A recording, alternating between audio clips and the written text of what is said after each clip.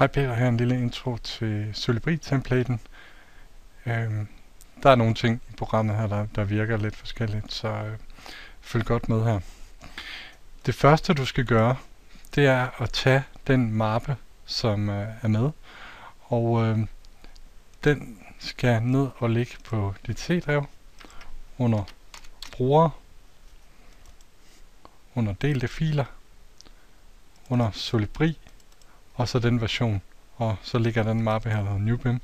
Og her der ligger de forskellige regelsæt og øh, definitioner og templaten. Så du åbner templaten, step 1. Og når du så kommer ind her, så kan du alt efter, hvad det, hvor du arbejder med inde i processen, så har vi simpelthen tilpasset nogle af de her regelsæt, men også lagt dem ind, som ellers ligger her. Så hvis du arbejder med i arkitektdelen, så kan du åbne den. Arbejder du i konceptdelen med masser, så kan du åbne den. Arbejder du med detail design, så kan du åbne den. Og så kan du simpelthen vælge her, hvad for nogen, der er aktiv herude. Og du ser, den der hedder NewBIM, det er den, som indeholder de generelle øh, check, som vi har tilpasset øh, til det arbejdsflow. Og herover ligger alle de forskellige information checkouts, som, som du kan bruge i projekter således.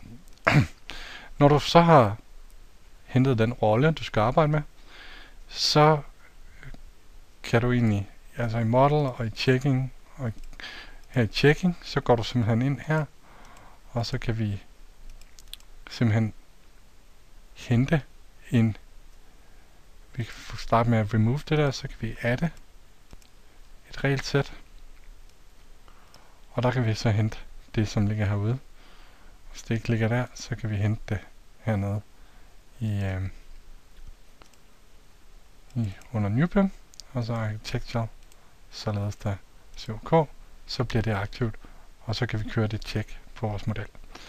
Når så kører vi videre, så kan vi gå i Information Checkout, og det vi så har gjort for at lave øh, verden lidt nemmere for jer, det er, at her der ligger alle de skemafunktioner, så I lynhurtigt kan få sat jeres model op.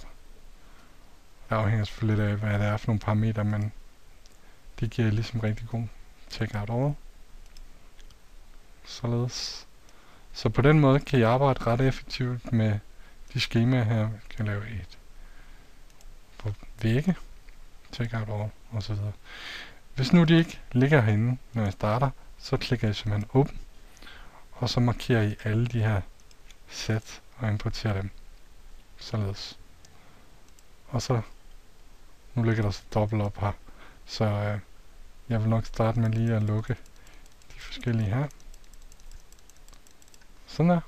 Og så klik Open Definitions, og så ligger de definitioner, der passer til her. Ups. Og så har jeg dem så liggende hernede af. Super.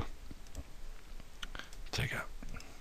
Så det gør det ret effektivt for at arbejde med Solibri, så I styr på jeres regelsæt på jeres øh, dataudtræk. Og vi arbejder også på en øh, BR10-regelsæt, som, som jeg eftersender øh, inden de nærmeste dage. Så det er sådan lidt, øh, sådan som det fungerer. Held og lykke med det.